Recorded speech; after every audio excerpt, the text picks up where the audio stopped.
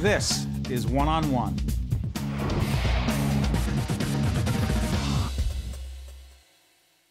There he is, Adam Bryant, author of uh, The Corner Office Indispensable and Unexpected Lessons from CEOs on How to Lead and Succeed. Also, senior features editor, little newspaper called The New York Times. Good to see you, Adam. Thanks, Steve. I've been reading you for a lot of years. It's great. And enjoying um, your Corner Office column and learning from it. Thank you for being with us. Oh, thank you.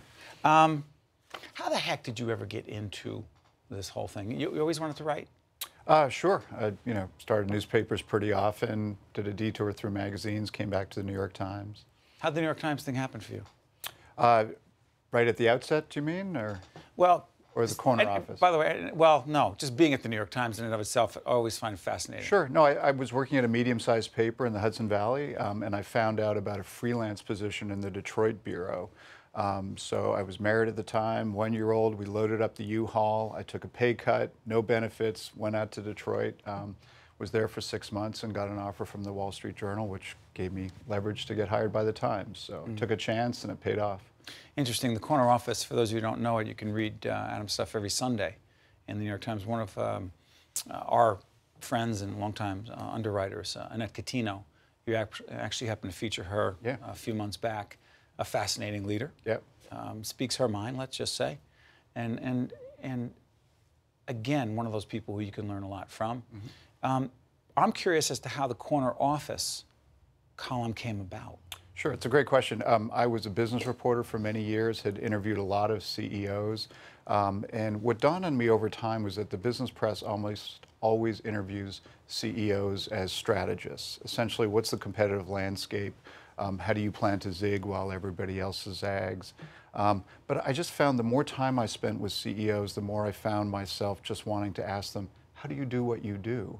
Uh, and then as I became a manager myself and discovered how hard it is, um, I also wanted to ask them, how did you learn to do what you do? Because I think people have this notion of CEOs are born leaders. You know, from the time they were in diapers, they knew how to do it. Um, and I didn't really think that was quite accurate. Um, so I thought if there was some way to get at the learning curve there too. So the very simple what if is, what if I sat down with CEOs and literally never asked them a single question about their company, their product, their strategy, and just asked them open-ended questions about important leadership lessons. Um, how do you hire? What questions do you ask? I always ask the CEOs that, and I keep hearing fascinating answers. I hear something different almost every week. And again, talk about the learning part. For me, um, in, in your book, the one thing clipping your articles every week, and uh, there's, there's nothing like, I, I write for another paper, um, Star Ledger, a column on leadership and communication. There's nothing like someone saying, I clipped your article out and using it, and I'm sure you Yeah. hear that a lot more. Um, and turning it into this book has been great because I told you I turned to a section here. I went, you know, on getting ready for this show, I turned to the section called uh, Be a uh, Coach, Not a Critic. And, and I'm sure this isn't just about me, it's about all of us who are crazy enough to think we can lead and manage. And I said to you that short version is this things go wrong in every organization, mistakes happen, and mm-hmm. I wish I were more of a coach and less of a critic, mm-hmm. meaning so quick to who screwed up, why did this happen, and just, and I know all of our producers who are saying they're shaking their heads right now or looking at each other and they know what I'm talking about. Why is it that so many of us have such a hard time being more of that coach, and why do we why do we come down so tough? Well, I think managing people is hard for the first thing. As, as a manager, you're responsible. Um, so I think it's very easy to get frustrated, especially if something goes badly and we've got to fix this fast. Um, but it's, it, it does take a lot of patience and sort of mindfulness to remember that you are like the coach of a team. Um, and it's not just somebody dropped a ball in a play to you know, use the sports metaphor. It's, you know, what about the discussions beforehand? How do you prepare for the game? I, I think if um, managers take that approach that you know they're a football coach or coach of any sports team, I think that kind of changes their perspective because it's really about how do you make your individual players, employees better, um, and then how do you get everybody to work together as a team? And I think that approach is kind of rare, but um, I, I think it's also very clarifying and simplifies things. It's interesting as I you went through this. We talked about the five qualities, and there's so many more qualities, and it's more complicated. Maybe maybe it's, maybe it's not, but you said five qualities. Passionate curiosity. Give me 30 seconds on each. Passionate curiosity. Uh, basic, really engage with the world, you know, curious about people, their backstories, how things work, um, how things can be made to work better. I like the phrase passionate curiosity because it's sort of greater than the sum of its parts.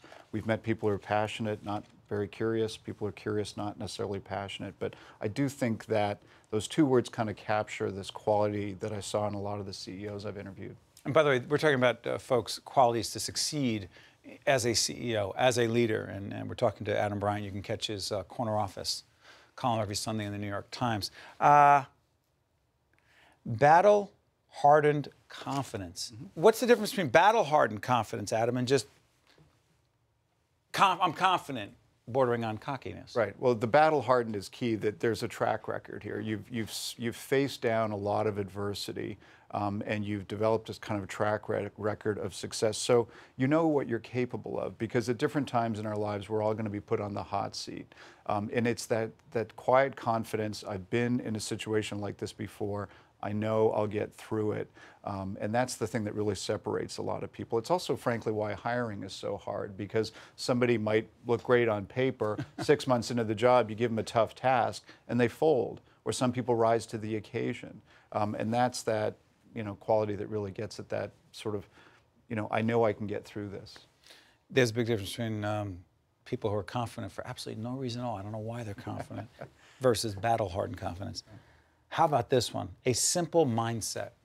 Go. Um, simple fact that essentially we all have worlds of data at our fingertips, courtesy of the internet. And I think it's a it's a really key skill of CEOs to be able to simplify uh, whatever the issue is down to one or two or three core ideas. Um, you don't want a CEO standing up in front of their troops and saying, "Here's 15 things you have to remember." our key strategic objectives. Big data dump. Yeah, it's here's the three things that we're going to focus on this year, or two.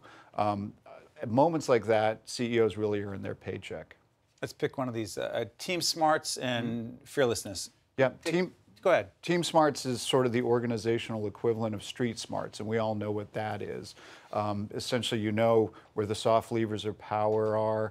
Um, you, you know who to talk to to get things done. You understand the sort of connective tissue of politics of an organization.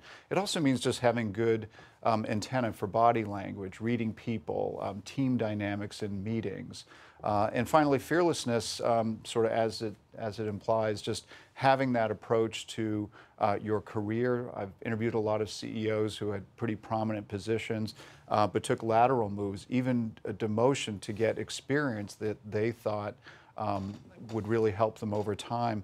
Um, you know, you talk to these CEOs, and they really there's this reverence in their voice when they talk about employees who have a bias towards action, not recklessness, but let's do something. Let's let's innovate. Let's take some risks, and they wish they could bottle that and pass it around. 30 seconds.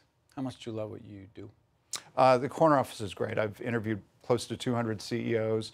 Um, they're interesting people. They always have such fascinating insights. It's a it's a different side of them that I've really uh, gotten to experience, and so I always look forward to the conversations. You know, I look forward to this all the time too. People say, "Hey, you talk to this different people, but you ask similar questions. You're not getting the same stuff back. You're not getting the same stuff, right?" Right? Exactly. Listen, the name of the book is The Corner Office Indispensable and Unexpected Lessons from CEOs on How to Lead and Succeed. The author is Adam Bryant. Um, good stuff. Check it out every Sunday in the New York Times. Uh, you know that newspaper, The Gray Lady. Thank you very much. Thanks, Steve. Appreciate it. Yeah, appreciate it. This was fun. This special edition of One on One with Steve Adubato is brought to you from the Tisch WNET studios at Lincoln Center. Funding has been provided by Adler Aphasia Center, empowering, enhancing, and enriching the lives of people with aphasia and their families. The Russell Berrie Foundation, Fedway Associates Inc., J.H. Cohn, Accountants and Consultants. We turn expertise into results. And by PSE&G, committed to improving New Jersey's economy and strengthening its communities.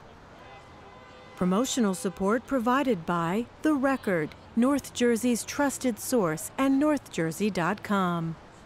Transportation provided by Airbrook Limousine, serving the metropolitan New York, New Jersey area. One on One with Steve Adubato has been produced in partnership with St. Joseph's Healthcare System.